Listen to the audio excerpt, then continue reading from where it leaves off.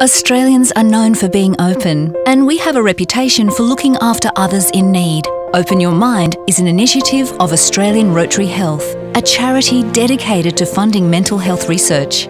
Since 2000, with public support, we've helped some of the best minds in Australia make a significant contribution to our understanding of mental illness. Our focus continues to be the mental health of young Australians and the prevention and treatment of mental health disorders that impact so many lives.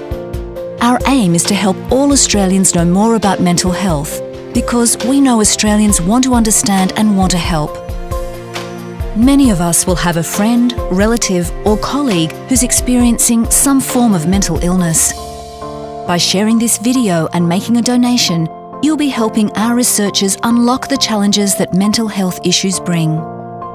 All we ask is that you open your mind to mental health and make a difference today.